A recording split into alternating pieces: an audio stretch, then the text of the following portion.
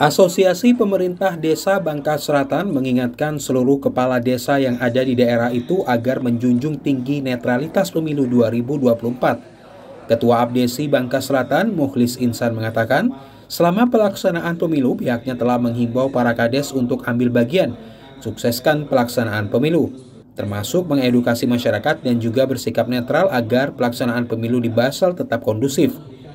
Selain itu, dirinya menekankan kepada kepala desa dan perangkat desa untuk tidak melakukan aktivitas kampanye maupun mengkampanyekan salah satu peserta calon legislatif.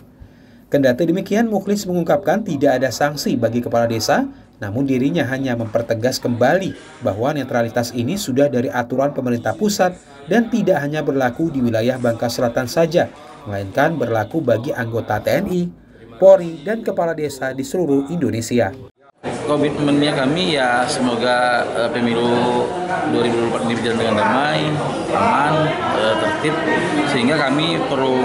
menyampaikan kepada masyarakat bahwa jangan sampai ada yang golput uh, dan kami juga dihimbau oleh Bawaslu untuk menjaga netralitas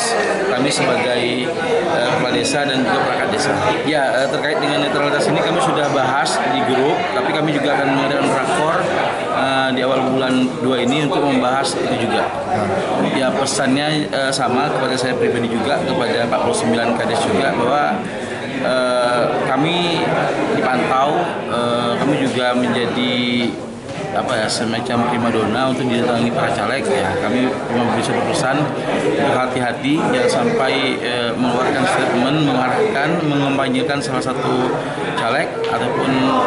e, melakukan aktivitas kampanye. Selain itu, Muhlis mengatakan jika pihaknya sudah menginstruksikan seluruh kepala desa untuk turut mengedukasi masyarakat, terutama kalangan milenial, dengan sampai ada yang golput, karena satu suara menentukan kemajuan bangsa ini. Dari Bangka Selatan, Eko Septianto Rashim, TVRI Bangka Belitung melaporkan.